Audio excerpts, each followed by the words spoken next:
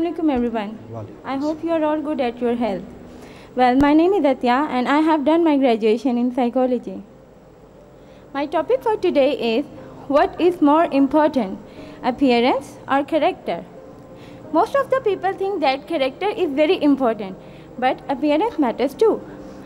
Well, in my opinion, in my opinion, character is very important, but appearance also matters. What is character?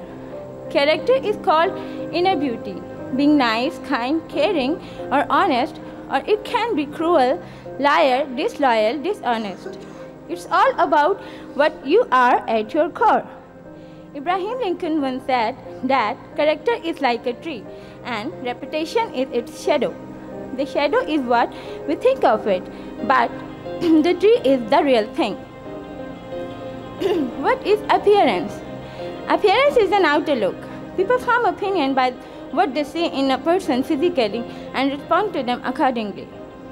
Most of the people think that being caring is more important. It is evident that the people who are considered ugly will be discriminated upon. For example, children start to pick whom they like as playmates according to their attractiveness. Attractive people are more confident and happy because a good appearance also makes a good personality.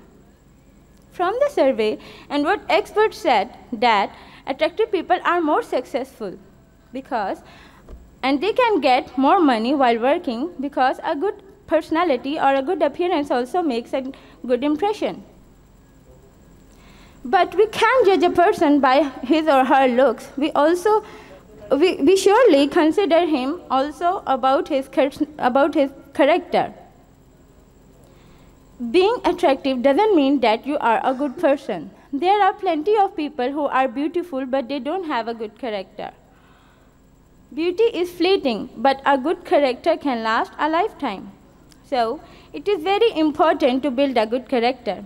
Character is the thing that distinguishes Muslims from others.